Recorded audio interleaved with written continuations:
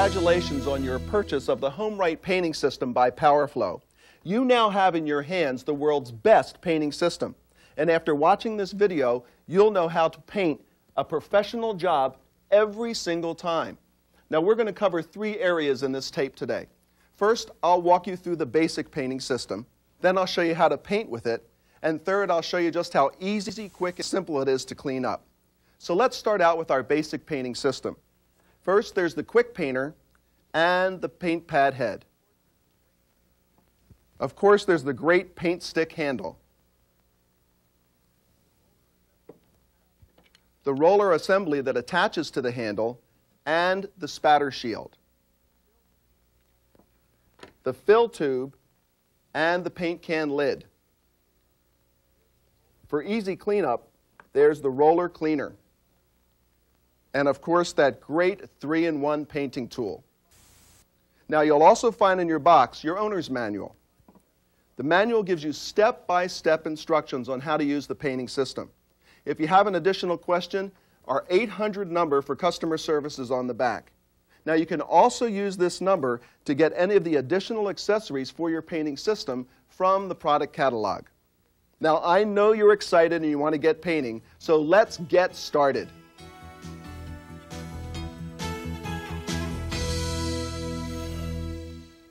Before you start painting, it's a good idea to take just a few minutes to properly prepare the room. That way you're always assured of a good paint job. Now, the first thing to do, move all the furniture out of the room. If you still have a few pieces left in the room, put a cover over top of them. The second thing is to remove the electrical outlet covers and the switch plates from the walls. However, before you do, go to the breaker box in the house and turn off the breaker switch for this particular room. That way it's always safe. Now, HomeRight has made a great product that makes the next job really fast and easy. It's called Quick Mask. It comes in two versions. The first one is paper, the second one is a poly drop cloth. Show you how to use the paper first. Now you use this when you want to protect your walls when you're painting the windows, doors, or trim in the house. It's got a built-in cutter right here, and the masking tape is attached to the paper. All you do, pull it out, put the tape on the wall, and then just follow it right down along the window frame. When you get to the bottom, tear it off with that built-in cutter. Now when you open this up, it's specially treated so that no paint can bleed through the paper onto the wall. Now you'd also use this if you wanted to protect the door from any paint coming down when you're painting above it. All you do, let's pretend this is our door, and just take it out to the edge of the door frame and cut it off. Take the tape, place it right on top of the door frame, make a little crease right along here, and that'll hold it in place for you. Now you've protected your door frame from any paint coming from above. The other version, I really like this. It's the uh, poly drop cloth. They put the masking tape right on the drop cloth, so it really makes it easy. You use this to protect your floors. All you do, once again, pull it out, place the tape right in the corner, and pull it across. Taping as you go. This really makes it fast and easy to protect your floors. Now when you get to the end, just grab it and twist. That way it cuts right off.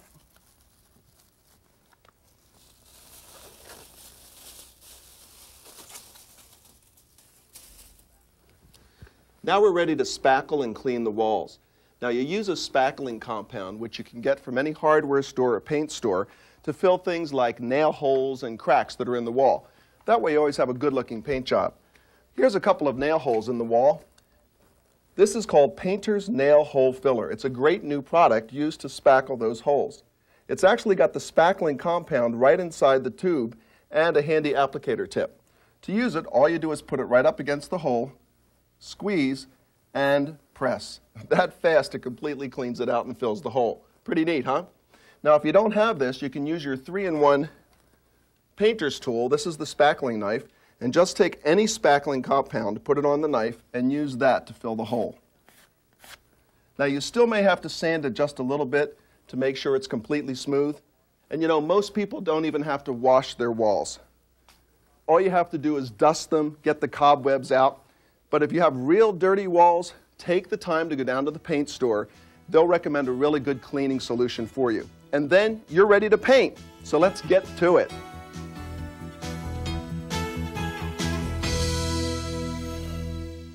The first job you do before you paint the walls is what the professional painters call cutting in. And that's where you're going to paint the wall right next to the window frame next to the ceiling, the door frame, the baseboard, and the corners of where the walls come together. Now to do that job, you're going to use the Quick Painter. Before we load it with paint, let's make sure that the Quick Painter nozzle is on tight. Here's how you check it. All you do is pull down on the handle, press the trigger. Do you hear the air release? That's your signal that tells you the Quick Painter is working perfectly. I'll do it again. Pull down on the handle, press the trigger. Now, here's what it sounds like if that nozzle is not on tight. Pull down on the handle. When you press the trigger, you don't hear anything. So that tells you that you have to tighten this up, make it snug. You don't want to over tighten it, just make it snug. Pull down on the handle, press the trigger. It's working perfectly. Now you're ready to load the quick painter with paint. You want to dip the tip of the nozzle about a quarter of an inch into the paint can. Then pull back on the handle. And what that is doing is loading the quick painter with the paint. When it comes all the way up to the end, push the handle all the way down, take a rag, and wipe off the end of the quick painter. Don't press the trigger until you put the paint pad on top. Now the quick painter comes with a paint pad. All you do is slip it over the nozzle and give it a quarter turn. Okay? Now this paint pad also swivels so you can put it in any direction that you want so you have the trigger exactly where you like it. Now, one more thing before we start painting. When you pull the paint out of the paint can, sometimes you'll get a little bit of air in this chamber. So hold the chamber upright, take your cloth, put it right next to your paint pad, and just tap the trigger. You want to hear the air release. It's called burping the quick painter. Hear that air release? Then all you do is keep pressing it, and you'll start to see the paint come out. Now you're ready to paint. There's two plastic wings on the side of the paint pad. That's what you're going to use for your guide so that you can get it right next to the window frame. So just put it right next to the window frame, tilt the top of the paint pad in so that it touches, and that'll give you a perfect cut in all the way down. Press the trigger and start painting. Just pull straight down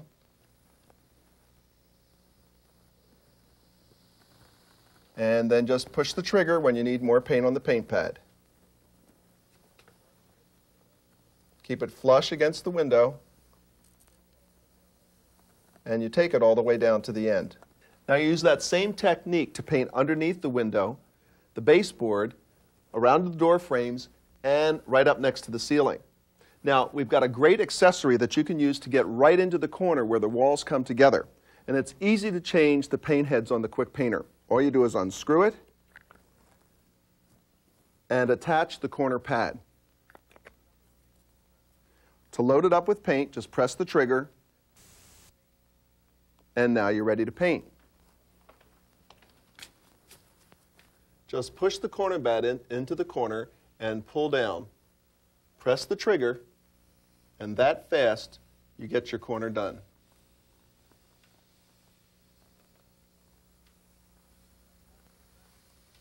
Now, if you have to go back, it's easy. Just go back in and go over it, and you get that corner. Now, I've got one more accessory I want to show you that you use with the Quick Painter, and that's the paint brush. Use this to paint the windows, the door frames, and the trim. Now, I'm going to finish doing the cutting in, and then we'll be right back to finish painting the room.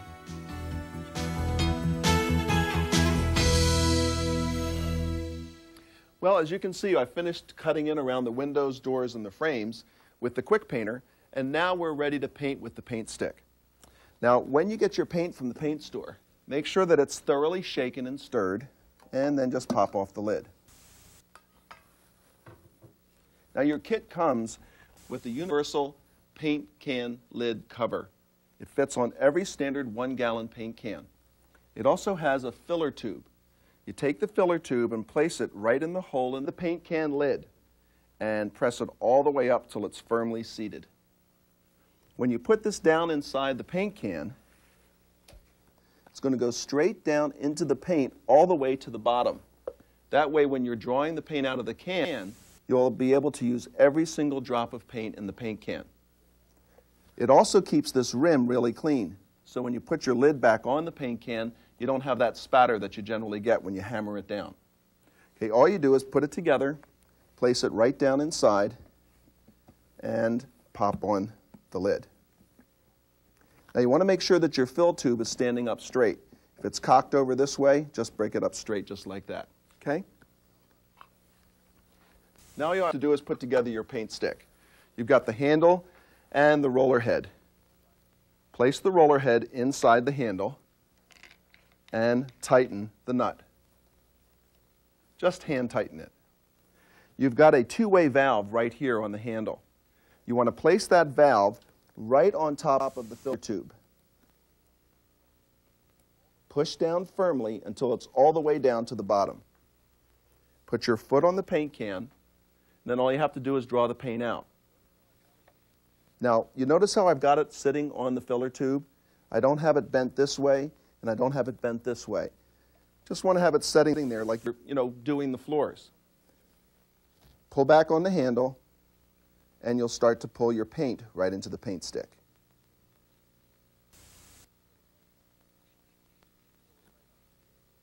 Just fill it right up. Remove the paint stick. That valve automatically snaps shut, so there's no dripping. Go over to your wall. The first thing you want to do when you start painting with the paint stick is to prime the pump or to prime the paint stick. Okay? We want to force the paint up through the roller frame into the roller head. To do that, you put your hand here and you push the paint, and it'll start coming out. Just roll back and forth. That'll give you a good feel, too, for how the paint stick works. And just keep pushing. Now, can you see the paint starting to come out? That means we've just about loaded the roller head with all the paint. Push a little more, and we're ready to paint. Now it's going to take almost a full load of paint the first time to fill the paint head.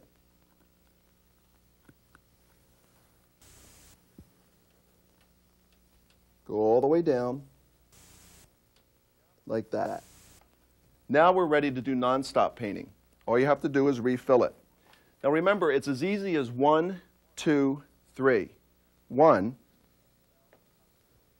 Place the valve on top of the filler tube, press down until it's firmly seated all the way down.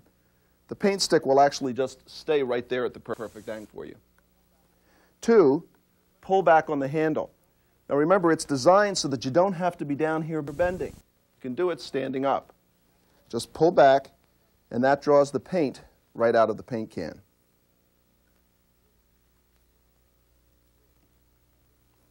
Three, lift it off. Snap shut. You don't have to worry about it dripping. Go back to your wall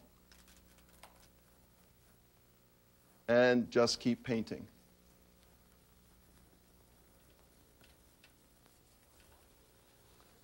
Now, while you're applying the paint to the wall, if you push the handle and you put too much paint in the roller head, you'll start to skate around the wall that means you've got too much paint in your roller head.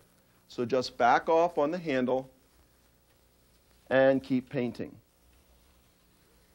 If you have too little paint in the roller head, you'll see it'll start to streak, like right here. So all you have to do is just push on the handle and add some more paint.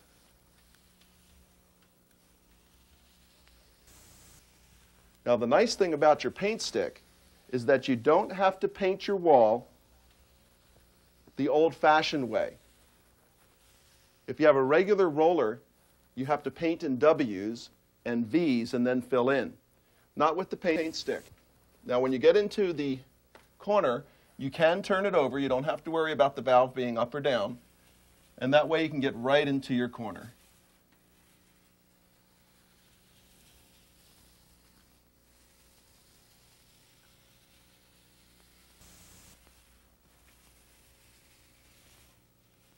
Keep pushing in on the handle. That brings more paint into the roller head.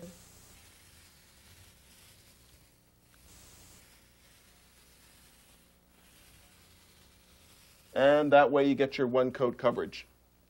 Now, they do have an accessory that comes with it that's going to help you painting right up next to the ceiling and for doing your ceiling.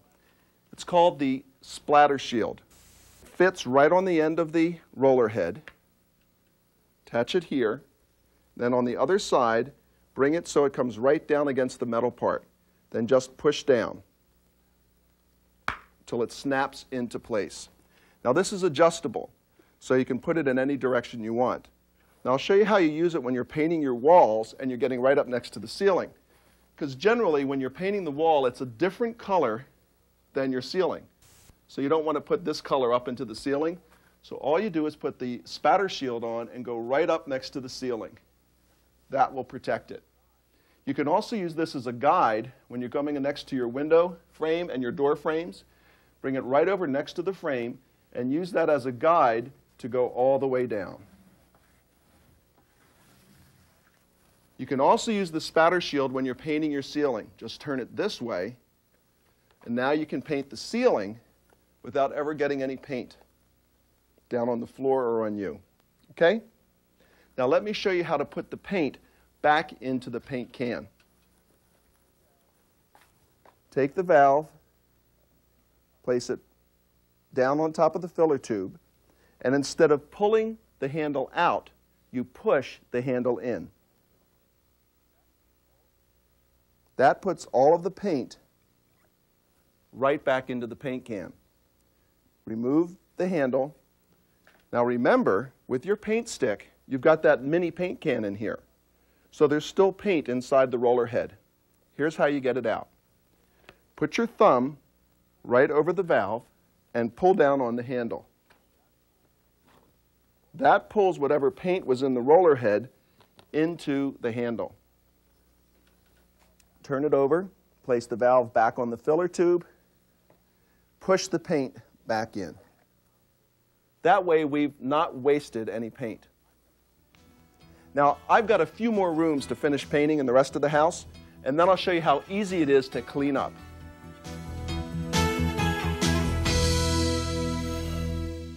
Cleanup is never a problem. Whether it's the paint you start with or the paint you finish with, HomeRight has made it easy. Watch.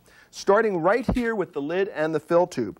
They're made of a plastic called polypropylene. That means it's non-stick. That means the paint can't stick to it. It's a snap to clean up. All you do is take off the cover, take out the fill tube, and put it right down into the water. Just let it soak while we do the rest here. Now take a look at the well around the outside of the can. There's no paint in it like you normally get when you paint. It's another great idea that they have. That way when you put your lid on, you don't have to worry about splatter. Now, let's take the rest of the paint off of our paint stick. We've already emptied out the handle, we've emptied out the roller, now use your handy painter's tool, put it around the top, and then all you have to do is just push down. Watch. It strips the paint right off. And just that fast, you've gotten just about every drop of paint out of the roller head. You don't waste any paint when you use the paint stick. Now, all you have to do to clean your paint stick is fill up a laundry sink. You can use the bathtub, a kitchen sink. If you're working outdoors, you can use a bucket. All you do is submerge it right down into the water, right up to the valve, and pull back. That fills up with water. Just clean it out two or three times, and that fast, you'll have your paint stick clean. Once we flush through the clear water into the roller head, all we have to do is finish cleaning it. Now, cleaning a roller head used to be a really big chore. As a matter of fact, some people even throw them away. What a waste of money. Look at this. HomeRight has a cleaning ring that fits on any standard faucet. All you do is turn on the water. The water comes right out through the middle of the cleaning ring. Take your roller and push it right down through. And you're cleaning it. Isn't that great? That way we'll get all of the paint out of our roller head. You can use it over and over again. Now when you're done cleaning, turn off the water, pop off the head and just clean the inside. Now talking about the roller head, here's something I want you to see. You see, this isn't a cardboard inside roller head. When you put those in water, they fall apart. This is made of a material called phenolic. It's really tough. You don't have to worry about this falling apart. You use the roller over and over and over. This painting system was designed to last. Take a look at the paint stick handle. Made out of ABS right here at the valve. That's a high impact plastic. And it's not glued onto the handle, it's spin welded. That's the same technology that they use when they weld the axles on your car. Look at this. The handle's made of a space age plastic called PET. Watch. Now that's 200 and well, don't worry about how many pounds, but you get the point. With proper cleaning, your paint stick is built to last you a lifetime. Now let me show you how easy it is to clean the inside of the roller head. All you do is take your thumb, put it right here on the end, and pop it off. Pull it out, and right here at the end, you don't want to use screwdrivers to take this apart. Just wiggle it apart like this, okay? After you've cleaned it, put a little bit of petroleum jelly or Vaseline right around that O-ring. Out comes your mini paint can, clean that in the water, and don't use a screwdriver to pop off the end. Just take the power frame and put it right through and pop it out. Put a little bit of Vaseline there too. To reassemble, all you do is just pop it on, drop in the mini paint can, put this on top, the roller frame goes in and it snaps together. That fast you're clean. Now, also on your paint stick handle, there's two O-rings right here. You want to be able to keep those lubricated with Vaseline. Here's how you do it. To open this up, all you do is hold right here and grab here. Now you're going to pull back sharply. Watch. And that pulls it off. Now if it doesn't come off real fast and easy for you, all you have to do is lay it on the floor and walk on this ring. Now the O-rings are designed to be a little bit bigger than the handle, so just make sure you get them in just like that and close it. Now remember, if it doesn't come off easy for you the first time by pulling off the handle, just lay this on the floor, take your foot and roll it back and forth. That'll help you get it off. You don't have to worry about breaking it. It's ABS plastic. Now we're ready to clean the quick painter. All you do is just run the paint pad under the water, clean it off, and remember that's made of neoprene so you don't have to worry about it soaking. Now we still have some paint left inside the quick painter. Just like the paint stick, all you do is press the trigger and the paint comes out, whatever's left inside. Isn't that great? When all the paint's out, to clean it, just stick it right down in the water, pull back on the handle, load it with water, give it a few shakes, and watch. The dirty water comes out. You do that two or three times and you're totally cleaned with the system. Now to finish cleaning the inside, all you do is unscrew the back handle and pull it out. Put a little bit of Vaseline on the O-ring here and the O-ring here, and then put it back inside. Now to put it inside easily, all you have to do is press on the trigger and push it in. Screw it together, you're done. You see, you don't waste paint, you don't waste time, and you don't waste your money when you use the HomeRight painting system.